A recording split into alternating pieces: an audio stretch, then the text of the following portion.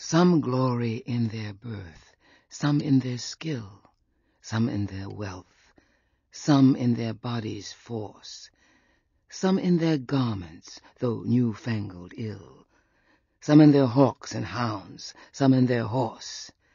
And every humour hath his adjunct pleasure, wherein it finds a joy above the rest.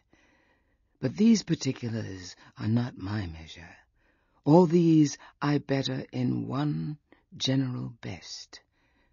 Thy love is better than high birth to me, richer than wealth, prouder than garments cost, of more delight than hawks or horses be.